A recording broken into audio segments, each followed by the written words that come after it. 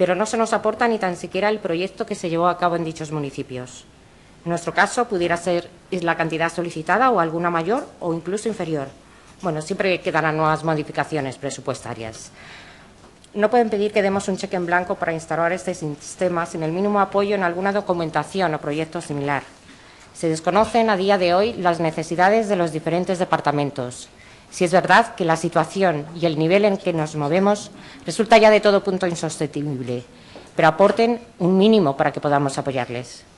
Pero junto a este referido sistema integral de gestión, se nos trae también la compra de un centro de proceso de datos, ya que el nuestro parece haber consumido todos los recursos, habiendo amortizado más allá de lo deseable su vida útil. Diez años cuando se establece una vida útil de seis.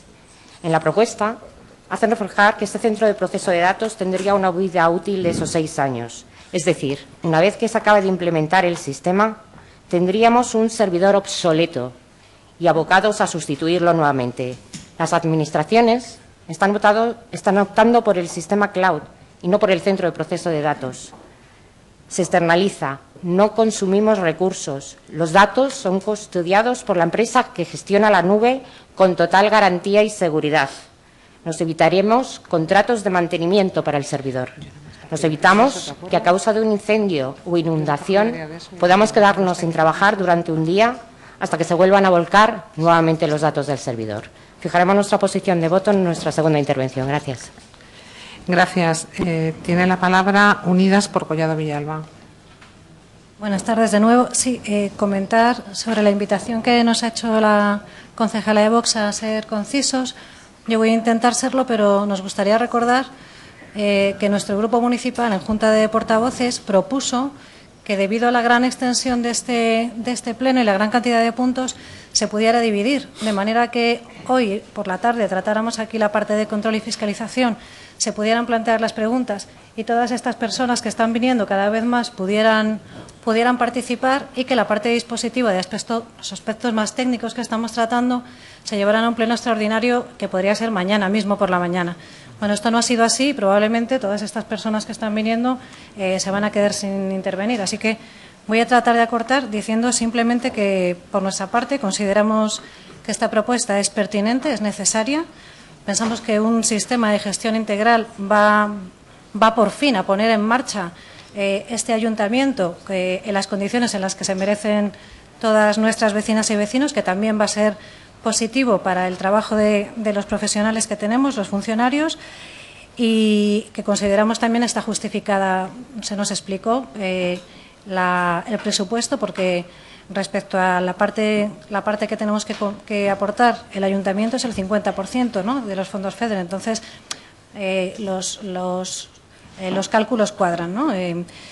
Mm, nada más, simplemente animarles, ahora que parece que ustedes eh, se, están decidiendo a, darles uso a estos remanentes de tesorería, algo que nosotros hemos estado pidiendo en el mandato anterior constantemente, bueno, pues animarles a que, a que empiecen a emplearlo también en otras cuestiones que nosotros consideramos también de prioridad y de urgencia, como actuaciones en el mantenimiento de nuestros colegios, que hay un montón pendientes y están, lo están pidiendo a gritos, o, por ejemplo, en la propuesta que traemos, si es que llegamos, eh, para rehabilitar pisos de propiedad municipal y ponerlos a disposición como recurso de respuesta ante situaciones de emergencia habitacional.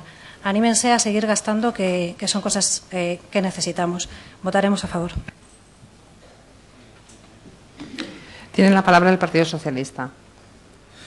Bueno, por ser ágil, como decía la portavoz de Vox, porque por respeto a los vecinos que han venido y quieren intervenir en este pleno, vamos a ver si, eh, conseguimos esta agilidad eh, y por eso no voy a leer también los reales decretos y legislación que también ha leído Miguel Aisa y me limitaré a hacer una intervención más en tono político en vez de, eh, como otros grupos hacen para dilatar, leer y leer cosas que ya, hemos leído en este mismo punto.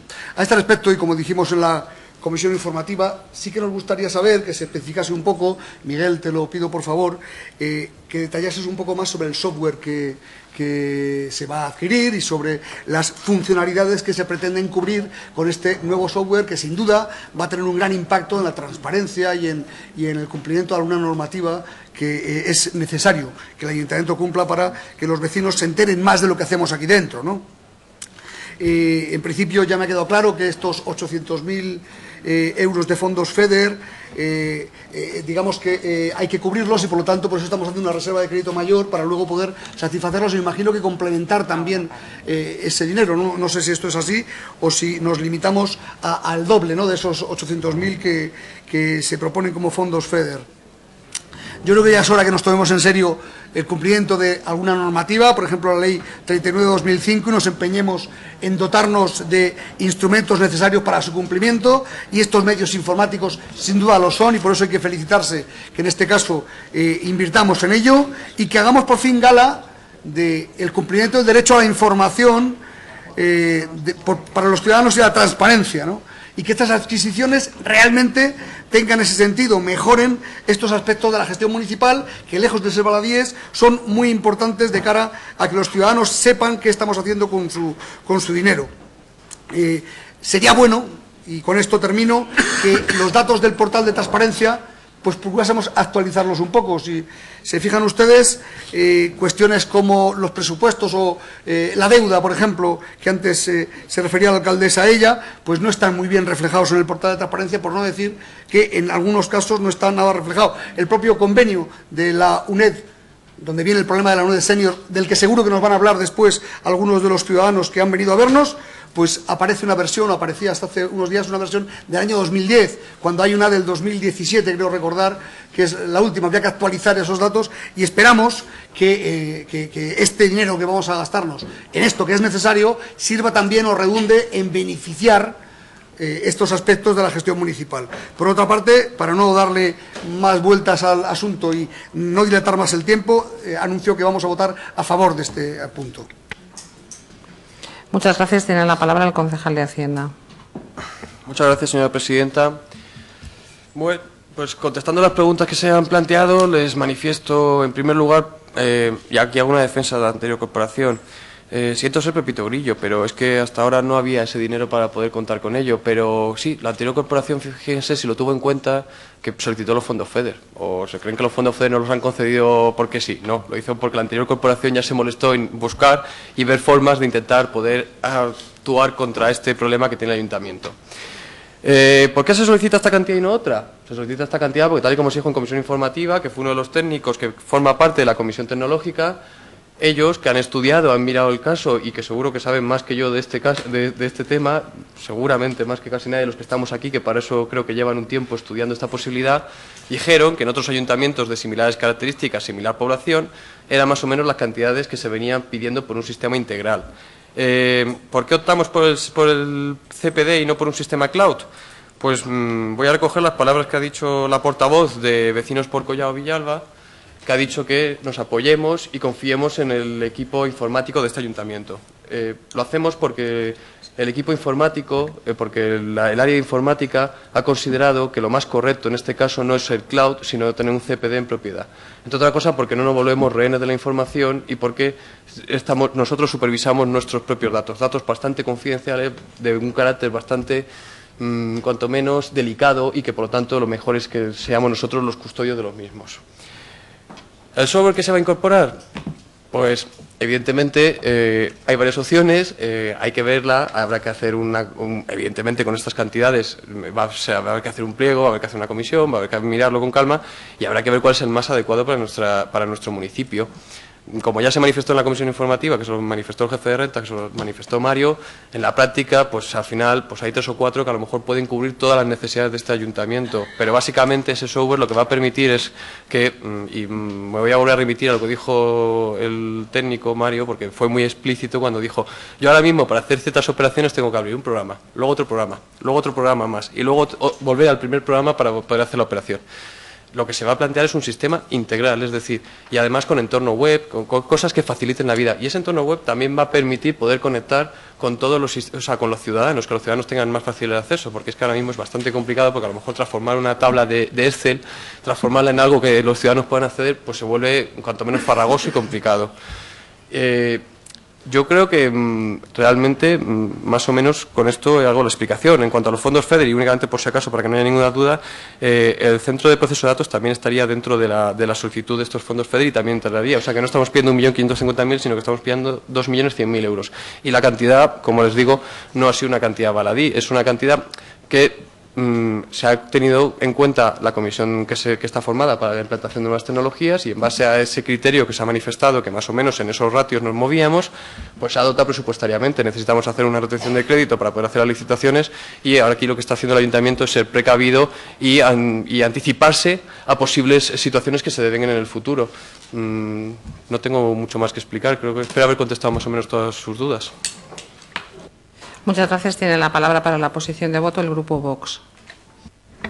Manifestada mi crítica previa, eh, de nuevo, poner de manifiesto que estamos hablando de un incremento, de, o sea, un crédito extraordinario para implantar la administración electrónica en el Ayuntamiento de Collado Villalba.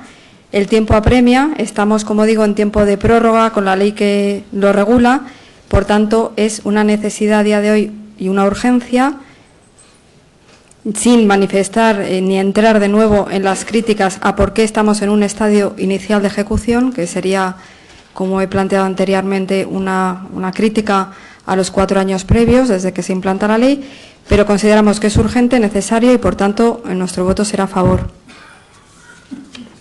Tiene la palabra más Collado Villalba. Sí, gracias. Nuestras dudas desde el punto de vista técnico han sido aclaradas y agradecemos las aclaraciones que se han efectuado. Nosotros también confiamos en los técnicos municipales y en los informes que realizan, por lo que Más Collado Villal va a votar a favor. Muchas gracias. Tiene la palabra el concejal de Hacienda. Muchas gracias, señora presidenta. Y entendiendo que más o menos veo que todos los puntos han quedado aclarados, no tengo nada más que manifestar a este respecto. Yo sí, yo sí tengo que matizar dos cosas. Una, que la que ha dicho la portavoz de Unidas por Collado Villalba y explicarle a la portavoz de Vox por qué esto se hace ahora y no se ha hecho antes. Eh, podemos disponer de remanente líquido de tesorería para invertir en este ayuntamiento desde 2018. Es el primer año que el Ministerio de Hacienda nos permite invertir dinero porque antes el nivel de endeudamiento era superior al 101% que marca la ley para poder hacer uso de este remanente. Eh, estamos en Berlín, que se lo he dicho, y desde Berlín las cosas se ven muchísimo mejor que desde Pekín. Y eso hemos llegado gracias al esfuerzo de todos los vecinos de Collado Villalba. Y gracias a este nivel de endeudamiento tan reducido que tenemos ahora, que recuerdo a todos que es del 65,71%, podemos contar con inversiones libres en muchísima más cantidad. Los fondos FEDER salieron en mayo de 2019 y se pidieron a instancias de todos los grupos que formaban la corporación entonces.